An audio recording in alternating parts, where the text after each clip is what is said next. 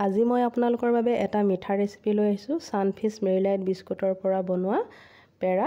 আপোনালোক সকলোৱে বনাব জানেই আৰু সকলোৱে বনোৱা পদ্ধতিবোৰ বেলেগ বেলেগ হয়।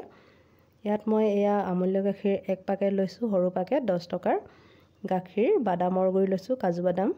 অকণমান ঘি লাগিব আৰু চেনি জোখমতে এতিয়া বিস্কুটকেইটা টুকুৰা কৰি ল'ম।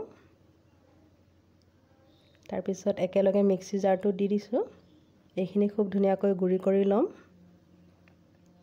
তেতিয়া মঠিবলৈ ভাল হ'ব। বিস্কুটখিনি গুড়ি কৰা হৈ গ'ল। এতিয়া মই এটা পাত্ৰত উলিয়াই লৈছোঁ। প্ৰথমে মই ইয়াত পাউডাৰ গাখীৰখিনি দি ল'ম। এইখিনি দি ভালদৰে মিহলাই ল'ব লাগিব।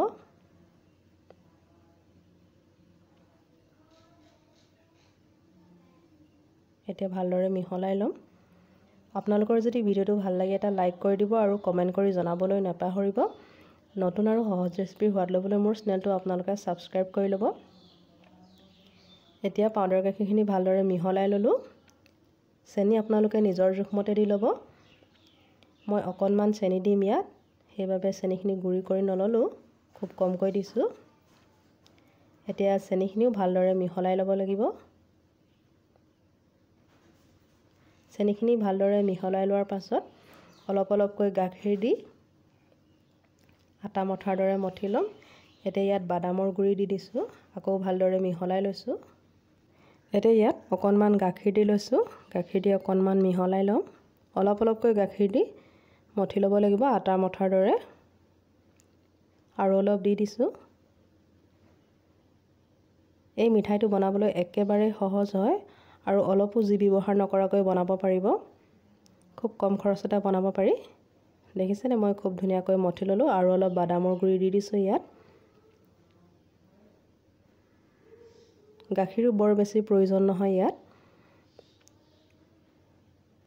এতিয়া মই হাতৰ তলুৱাত অকণমান ঘি সানি ল'ম। তেতিয়া গোল কৰিবলৈ বেছি সুবিধা হ'ব। অকণমান সানি লৈছোঁ। এয়া। এতিয়া গোল আকাৰৰ কৰি ল'ম। আপোনালোকে বাৰু আগতে এনেদৰে বনাইছেনে? এয়া দেখিছেনে? এতিয়া বাদামৰ গুড়ি অকণমান দি দিছোঁ। নতুন আৰু সহজ ৰেচিপি সোৱাদ ল'বলৈ আপোনালোকে মোৰ চেনেলটো ছাবস্ক্ৰাইব কৰি ল'ব। আপোনালোকৰ এই পেৰা মিঠাইটো কেনেকুৱা লাগিল? কমেণ্টৰ যোগেদি জনাবলৈ নাপাহৰিব। খুব ধুনীয়া হৈছিল খাবলৈ। তেন্তে আজিলৈ আহোঁ। অন্য আহিম এটা সুন্দৰ ৰেচিপিৰ সৈতে। আৰু ভিডিঅ'টো শেষলৈকে চোৱাৰ বাবে বহুত বহুত ধন্যবাদ।